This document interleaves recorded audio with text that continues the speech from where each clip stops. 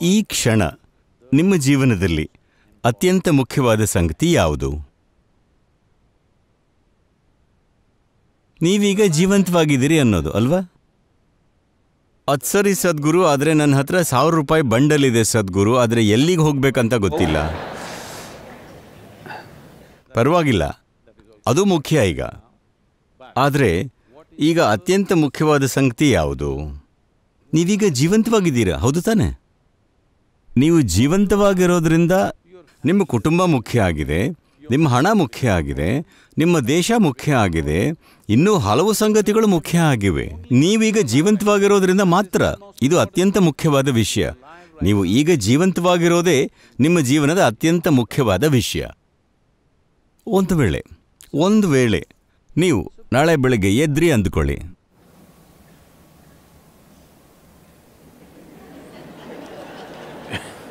ನಿಮಗೆ ಗೊತ್ತಿರೋ ಹಾಗೆ ಪ್ರತಿದಿನ ಭೂಮಿ ಮೇಲೆ ಎರಡೂವರೆ ಲಕ್ಷ ಜನ ಸಾಯ್ತಾರೆ. ಸಹಜ ಸಾವು. ಎರಡೂವರೆ ಲಕ್ಷ ಜನ ಸಾಯ್ತಾರೆ. ಆದರೆ ನೀವು ಸಾಯಲಿಲ್ಲ. ನಾಳೆ ಬೆಳಗ್ಗೆ ಎದ್ದಾಗ, ನೋಡ್ಕೊಳ್ಳಿ, ನಾನಿನ್ನೂ ಬದುಕಿದ್ದೀನ ನೀವು ಜೀವಂತವಾಗಿದ್ದರೆ ನಿಮಗಾಗಿ ಒಂದು ದೊಡ್ಡ ಸ್ಮೈಲ್ ಕೊಟ್ಕೋತೀರಾ? ನೀವು ಜೀವಂತವಾಗಿದ್ದರೆ ಇಲ್ದಿದ್ರೆ ವಿನಾಯಿತಿ ಕೊಡ್ತೀನಿ. ನಿಮಗಾಗಿ ಒಂದು ದೊಡ್ಡ ಸ್ಮೈಲ್ ಕೊಟ್ಕೋತೀರಾ? ನೀವು ಜೀವಂತವಾಗಿದ್ದರೆ ಎರಡೂವರೆ ಲಕ್ಷ ಜನರು ಸತ್ರು ಅಂದರೆ ಕೊನೆ ಪಕ್ಷ ಇಪ್ಪತ್ತ್ಮೂವತ್ತು ಲಕ್ಷ ಜನ ಅವರಿಗೆ ಪ್ರೀತಿಪಾತ್ರರಾದವ್ರನ್ನ ಕಳ್ಕೊಂಡ್ರು. ಹಾಗಾಗಿ ನಿಮ್ಮ ಜೀವನದಲ್ಲಿ ಮುಖ್ಯವಾಗಿರೋ ಆ ಮೂರ್ನಾಲ್ಕು ಜನರನ್ನು ಚೆಕ್ ಮಾಡಿ. ಎಲ್ಲರೂ ಇನ್ನೂ ಬದುಕಿದ್ದಾರೆ. ಇನ್ನೊಂದು ದೊಡ್ಡ ಸ್ಮೈಲ್. ಆಮೇಲೆ ಟೈಮ್ ನೋಡಿ. ಹನ್ನೊಂದೂವರೆ. ಇನ್ನೂ ಜೀವಂತವಾಗಿದ್ದೀರಾ? ತಮಾಷೆ ಅಂದ್ಕೋಬೇಡಿ ಇಲ್ಲಿ ಟಿಕ್ ಟಿಕ್ ಅಂತಿರೋದು ಗಡಿಯಾರ ಅಲ್ಲ. ನಿಮ್ಮ ಜೀವನ. It is not the clock ticking away. It is your life ticking away. ಈಗ ಹನ್ನೆರಡು ಗಂಟೆ. ಇನ್ನೂ ಬದುಕಿದ್ದೀರಾ? ನೀವು ನನಗೆ ಮಾತು ಕೊಡಬೇಕು. ಪ್ರತಿ ಸರ್ತಿ ನೀವು ಟೈಮ್ ನೋಡಿಕೊಂಡಾಗ ಒಂದು ಸ್ಮೈಲ್ ಕೊಟ್ಕೊಳ್ಳಿ. ನೀವಿನ್ನೂ ಬದುಕಿದ್ರೆ. ನೀವು ಸತ್ತಿದ್ರೆ ವಿನಾಯಿತಿ. ಆದರೆ ರಸ್ತೆಯಲ್ಲಿ ಹೋಗ್ತಿರೋ ಎಷ್ಟೊಂದು ಜನ ಗೋರಿನಲ್ಲಿರೋ ಭಂಗಿನ ಅಭ್ಯಾಸ ಮಾಡೋ ಥರ ನಡೀತಿರ್ತಾರೆ. ತಲೆ ಕೆಡಿಸ್ಕೋಬೇಡಿ ಅದು ತಾನಾಗೆ ಬರುತ್ತೆ. ಸಾವು ಸಿಕ್ಕಾಪಟ್ಟೆ ಎಫಿಷಿಯೆಂಟ್ ಅದಕ್ಕೆ ಅಭ್ಯಾಸ ಬೇಡ. ಅದು ಆದಾಗ ಬೂಮ್ ಹಂಡ್ರೆಡ್ ಪರ್ಸೆಂಟ್ ಯಾರು ಯಾವತ್ತೂ ಅರ್ಧಂಬರ್ಧ ಸತ್ತಿಲ್ಲ. ಜನ ಅರ್ಧಂಬರ್ಧ ಬದುಕ್ತಾರೆ ವಿನಃ ಯಾರು ಅರ್ಧಂಬರ್ಧ ಸಾಯಲ್ಲ. ಅದರಿಂದ ನನಗೆ ಮಾತು ಕೊಡ್ತೀರಾ? ಪ್ರತಿ ಸರ್ತಿ ನೀವು ವಾಚ್ ನೋಡಿಕೊಂಡಾಗೆಲ್ಲ ದೊಡ್ಡದಾಗಿ ಸ್ಮೈಲ್ ಮಾಡಬೇಕು. ಇನ್ನೂ ಸತ್ತಿಲ್ಲ. ಸ್ಟಿಲ್ ಆನ್ ಇದು ಹೇಗಾಗ್ತಿದೆ ಅಂತ ನಿಮಗೆ ಗೊತ್ತಿಲ್ಲ. ಗೊತ್ತಾ ನಿಮಗೆ? ಇದು ಹೇಗೆ ನಡೀತಿದೆ ಅಂತ ನಿಮಗೆ ಗೊತ್ತಾ? ಇಲ್ಲ. ಎಷ್ಟೊಂದು ಜನ ನಂತರ ನಿಮ್ಮ ಥರ ಇದ್ದವರು ಹೋಗ್ಬಿಟ್ರು. ಹಾಗೆ ಎಲ್ಲೂ ಕಾಣಿಸದೇ ಇರೋ ಥರ. ನಿಮಗೆ ನಶ್ವರತೆ ವಿಚಾರ ಆಗೊಮ್ಮೆ ಈಗೊಮ್ಮೆ ಬಂದರೆ ನಿಮಗೆ ಖಿನ್ನತೆ ಉಂಟಾಗತ್ತೆ. ನಿಮಗೆ ದಿಗಿಲಾಗತ್ತೆ. ಅದರ ಜೊತೆ ನೀವು ಪ್ರತಿ ಕ್ಷಣ ಬದುಕಿದ್ರೆ ಅದು ನೀವು ಅತ್ಯಂತ ಉತ್ಸಾಹ ಮತ್ತು ಹುಮ್ಮಸ್ಸಿನಿಂದ ಇರೋ ಹಾಗೆ ಮಾಡತ್ತೆ. ಯಾಕಂದರೆ ಈ ಒಂದು ವಿಷಯ ಜೀವನ ಶಾಶ್ವತ ಅಲ್ಲ. ಕೇವಲ ಸ್ವಲ್ಪ ಸಮಯಕ್ಕಷ್ಟೇ. ಮತ್ತು ನೀವೆಷ್ಟು ಜಾಸ್ತಿ ಸಂತೋಷವಾಗಿರ್ತೀರೋ ಅದು ಅಷ್ಟೇ ಚುಟುಕಾಗುತ್ತೆ. ಪರಮಾನಂದದಲ್ಲಿದ್ದರೆ ಒಂದು ಕ್ಷಣದಲ್ಲಿ ಹೋಗ್ಬಿಡತ್ತೆ. ಹೌದು. ಹಾಗಾಗಿ ಇದನ್ನು ಎಳಿಬೇಕಂದ್ರೆ ನೀವು ಸಿಕ್ಕಾಪಟ್ಟೆ ತೊಳೆದಾಡ್ತಿರಬೇಕು. ಇಲ್ಲ ಅಂದರೆ ಜೀವನ ಕ್ಷಣ ಮಾತ್ರದಲ್ಲಿ ಮುಗಿದು ಹೋಗುತ್ತೆ. ನೀವು ಇದನ್ನು ಅರ್ಥ ಮಾಡಿಕೊಂಡ್ರೆ, ನೀ ಈ ರೀತಿ ಬದುಕಿದ್ರೆ ಪ್ರತಿಯೊಂದು ಕ್ಷಣನೂ ನೀವು ಕೇವಲ ಇದೊಂದಕ್ಕೆ ಮಾತ್ರ ಬೆಲೆ ಕೊಟ್ಟರೆ ಇದೊಂದು.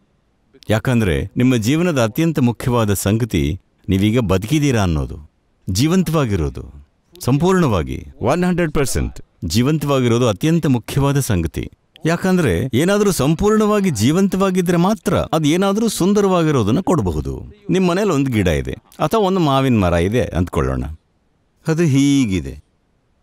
ನಿಮ್ಮನ್ನು ಅನುಕರಿಸ್ತಿದೆ. ಅದರಿಂದ ತುಂಬ ಸಿಹಿಯಾದ ಹಣ್ಣು ಬರೋ ಥರ ಮಾಡೋಕ್ಕಾಗ್ತಾ ಇಲ್ಲ. ಅದು ಜೀವಕಳೆಯಿಂದ ತುಂಬಿ ತುಳುಕ್ತಿದ್ರೆ ಆವಾಗ ನೀವು ಅದರಿಂದ ಸಿಹಿಯಾದ ಹಣ್ಣನ್ನು ನಿರೀಕ್ಷಿಸಬಹುದು. ಯಾರೂ ಕಲಿಸೋದು ಬೇಡ. ಜೀವಂತವಾಗಿರೋ ಮಾವಿನ ಮರಕ್ಕೆ ಸಿಹಿಯಾದ ಹಣ್ಣು ಕೊಡು ಅಂತ. ಅದು ಸಿಹಿಯಾದ ಹಣ್ಣು ಕೊಟ್ಟೇ ಕೊಡುತ್ತೆ, ಅಲ್ವಾ? ದುಃಖ ಪೀಡಿತರಿಗೆ ಪಾಠ ಮಾಡಬೇಕು. ದಯವಿಟ್ಟು ಪ್ರೀತಿಯಿಂದ ಇರು, ಜನರ ಜೊತೆ ಸ್ನೇಹದಿಂದ ಇರು ತಾಳ್ಮೆಯಿಂದ ಇರು, ಇದನ್ನು ಮಾಡು, ಅದನ್ನು ಮಾಡು. ಇದೆಲ್ಲ ಯಾಕೆ ಬೇಕು ಅಂದರೆ ನೀವು ಒಂಥರ ಅರ್ಧಂಬರ್ಧ ಜೀವ ಆಗಿದ್ದೀರಾ. ನೀವು ಉತ್ಸಾಹದಿಂದ ಜೀವಂತವಾಗಿದ್ದರೆ ನಿಮ್ಮ ಚೈತನ್ಯಕ್ಕೆ ಪ್ರತಿಯೊಂದು ಕ್ಷಣವೂ ಮಾಧುರ್ಯವನ್ನು ಸೂಸುವುದು ಸ್ವಾಭಾವಿಕವಾಗಿರುತ್ತೆ. ನೀವೇನು ಘನಾಂಧಾರಿ ಕೆಲಸ ಮಾಡ್ತೀರೋ ಇಲ್ವೋ ನಮಗೆ ಗೊತ್ತಿಲ್ಲ. ನೀವು ಮೌಂಟ್ ಎವರೆಸ್ಟ್ ಹತ್ತಿರೋ ಇಲ್ವೋ ನಮಗೆ ಗೊತ್ತಿಲ್ಲ. ಬೋಲ್ಟ್ಗಿಂತ ವೇಗವಾಗಿ ಓಡ್ತಿರೋ ಇಲ್ವೋ ಗೊತ್ತಿಲ್ಲ. ನೀವು ಜಗತ್ತಿನ ಅತ್ಯಂತ ಶ್ರೀಮಂತ ವ್ಯಕ್ತಿ ಆಗ್ತಿರೋ ಇಲ್ವೋ ನಮಗೆ ಗೊತ್ತಿಲ್ಲ. ಆದರೆ ಇದೊಂದನ್ನು ನೀವು ನಿಮಗೋಸ್ಕರ ಮಾಡಲೇಬೇಕು. ಇದೊಂದನ್ನು ನೀವು ಡಿಸರ್ವ್ ಮಾಡ್ತೀರಾ. ಇದೊಂದು ಸಂಪೂರ್ಣವಾಗಿ ನಿಮ್ಮ ಕೈಯಲ್ಲೇ ಇದೆ. ನೀವಿಲ್ಲಿ ಆನಂದಭರಿತ ಮನುಷ್ಯರಾಗಿ ಜೀವಿಸಬಹುದು. This much is possible for every one of. ಇದು ನಮ್ಮಲ್ಲಿ ಪ್ರತಿಯೊಬ್ಬರಿಗೂ ಸಾಧ್ಯ.